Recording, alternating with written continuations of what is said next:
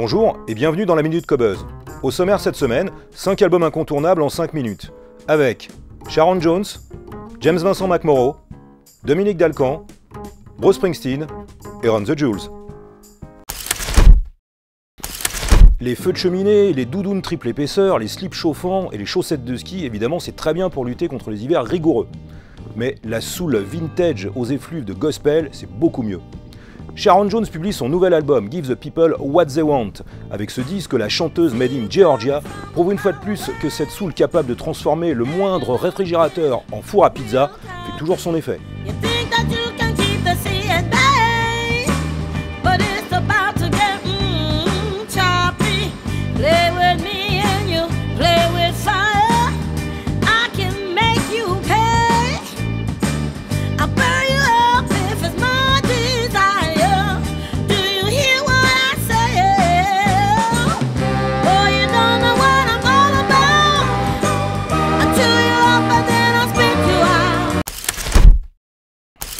Comment donc un ancien batteur de métal, par ailleurs fan du grand soulman Donny Hathaway, devient un troubadour délicat et touchant? Avec son premier album, James Vincent McMorrow avait frappé très fort en s'inscrivant dans la lignée des disques de Bon Iver et de James Blake. Une fois de plus, avec son deuxième disque qui paraît chez Believe, Post-Tropical, le songwriter irlandais au falsetto magique impose un peu plus ce folk épuré teinté de soul music, un disque cobuzissime.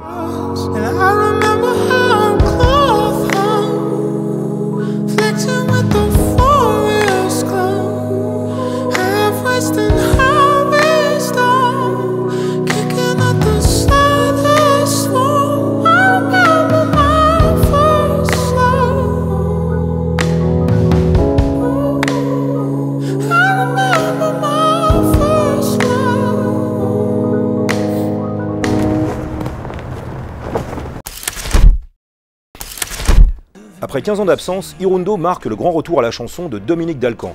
Il lui sert des parenthèses électro avec Snooze, des musiques de films, mais au bout du compte, il revient à ses fondamentaux avec ce disque de pop chanté pur et dur. Hirundo porte la tonalité qui a fait de Dalcan cet artiste incontournable de la scène française. Son writing délicat, des harmonies éclatantes pour un album de pop haut de gamme.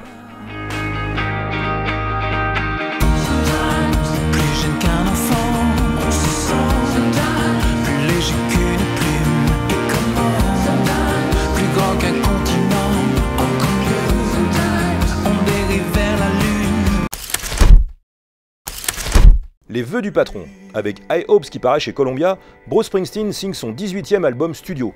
Entouré de son indéboulonnable E Street Bands, mais aussi de Tom Morello, l'ancien guitariste de Rage Against the Machine, le boss a réuni des enregistrements rares ou inédits de ces dix dernières années.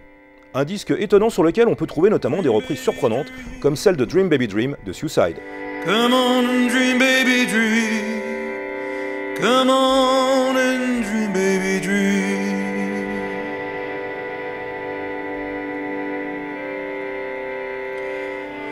Gotta keep the light burning.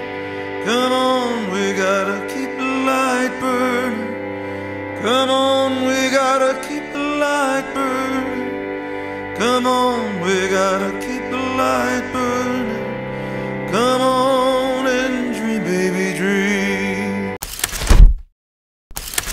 Prenez deux rappeurs peu connus du grand public, mais vénérés par l'underground, enfermés dans un shaker très étroit, secoués et servis très frais. Run the Jewels, c'est le projet qui réunit le new-yorkais LP et le géorgien Killer Mike.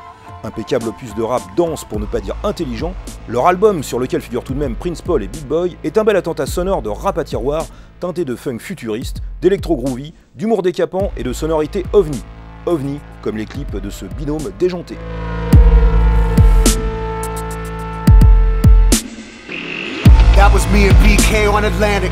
Never look both ways, ran in traffic.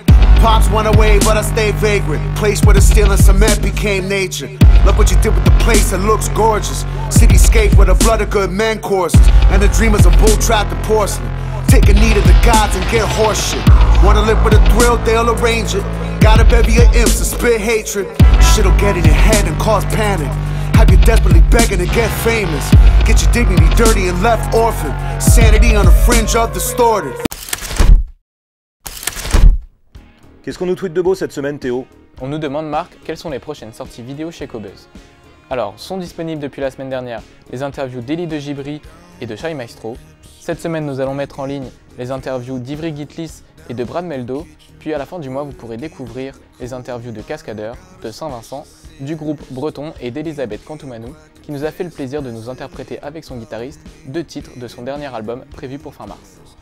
Je vous rappelle que toutes nos interviews ainsi que nos nombreuses archives podcast sont disponibles sur cobuzz.com et à partir de vos applications mobiles à la rubrique podcast. À la semaine prochaine pour un nouveau numéro de la Minute Cobuzz.